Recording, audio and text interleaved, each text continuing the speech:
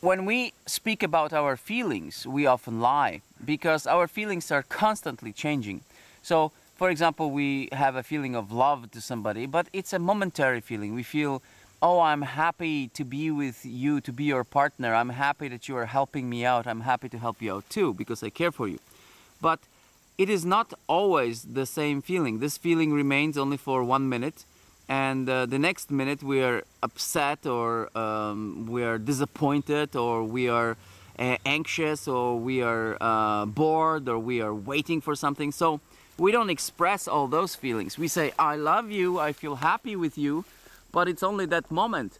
Uh, what about the minute after? What about the minute before?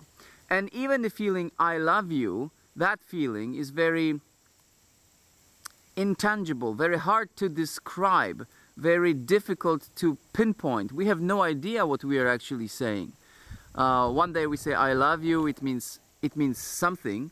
Another day we say I love you and it means a different thing. So and actually as we speak about love, we can imagine love being great or greater or so-so. And so when we say I love you uh, right after being getting uh, married, uh, maybe on the honeymoon uh, uh, during the honeymoon period we are very uh, ecstatic about this other person. But when we say i love you 15 years later we are of course a lot less um, excited. So love is a different thing for everybody. And um, yeah some people who say i love you don't mean anything. And some people who say i love you mean an arm and a leg.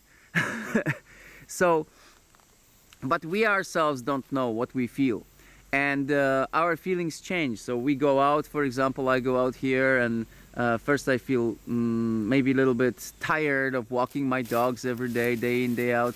But then i'm happy um, because the weather is nice. And then i am restless because i want to go home or then i am upset because mosquitoes are biting me. So the feelings that I have about this place are also very intangible, very hard to pinpoint, very hard to understand.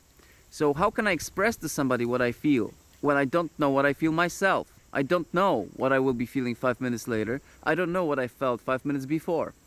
In Albert Camus' uh, book, um, which was called The Stranger, um, as we know, the hero, or the main character, shoots an Arab, shoots uh, a person on the beach because it was a sunny day, because the sun uh, was shining. So uh, there is no reason for it, of course, and the uh, sun uh, shining strongly is just a, a, metaphor for madness in this world.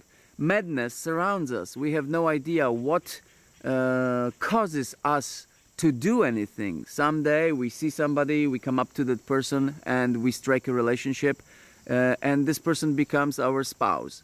Uh, another day we see somebody and we talk to that person and this person becomes our uh, devoted enemy. so we have no idea who we are meeting. We have no idea uh, what will be our next uh, day like. Uh, are we going to safely arrive at work? Are we going to um, do what we promised to our friends? Are we going to keep this life in order? So the chaos that surrounds us is um, prevents us from being truthful.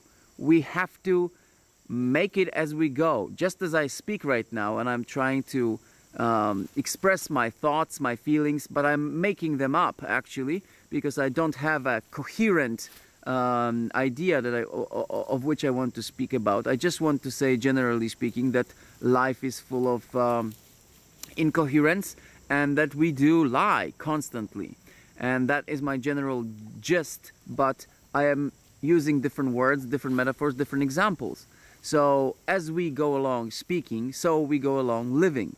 Uh, our lives are filled with surprises and we are surprised ourselves by what we are doing. Not only others are surprised by what we are doing. So don't be harsh on those who lie because lying is inherent in our lives. Lying is a part of lives because it is winging it uh, as we go along. So uh, it is just uh, living a life in the, in the world of uncertainty. That is what lying is.